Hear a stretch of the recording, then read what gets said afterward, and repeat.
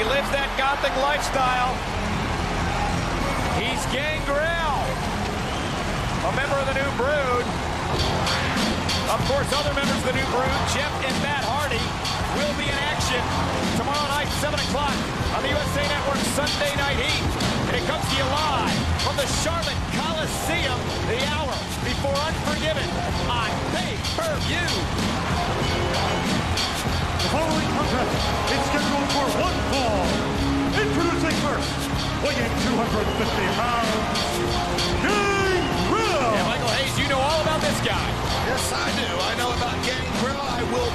to keep my views professional and not personal. And if I am speaking professionally, this is one of the new young lions here in the WWF. He has a lot of potential along with Matt and Jeff Hardy. But I've got to stress this. You have to live up to your potential, not live on your potential. You look good in red. And Gangrel now goes through that early ritual before his match. That liquid being spewed over the crowd. And what a show we've got for you tonight here on WWF New York. We're just cooking on all cylinders, and Gangrel is set to get into action against the guy from Pepperland. His opponent from Pepperland, weighing 333 pounds, the Blue Meanie. Oh, he's a staple of good health. Who does his uh, choreography? And Meanie himself. Uh, it looks that way.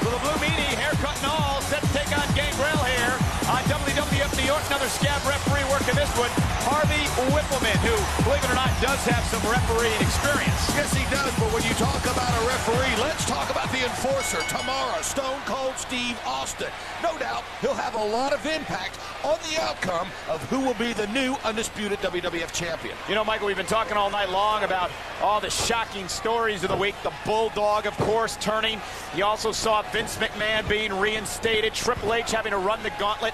But I think the shocker of them all was the formation of perhaps the greatest tag team in the history of the World Wrestling Federation. The reunion of B.A. Billy Gunn and Road Dogg. And so many questions to be oh. answered about the current WWF Tag Team Champions now on their fourth title reign.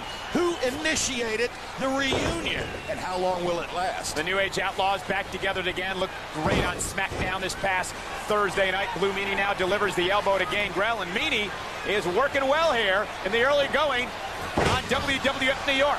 Unforgiven's tomorrow night. Oh my, what a shot to the back. If you are the meanie because of his physical condition or lack thereof, you want to try to take Gangrel out quick, and you want to take Gangrel to the mat, and it doesn't look like he's having any success. He being the blue meanie right now. He just ticked Gangrel off is all he did. You know, we're talking about Unforgiven tomorrow night, just hours away on pay-per-view. Order now, folks. You're not going to want to miss the big main event, the six-pack challenge. We talked about the Intercontinental title on the line. One of the matches that really intrigues me is for the European Championship. D'Lo Brown, sexual chocolate Mark Henry. And on SmackDown, you and I had the opportunity to talk to D'Lo Brown.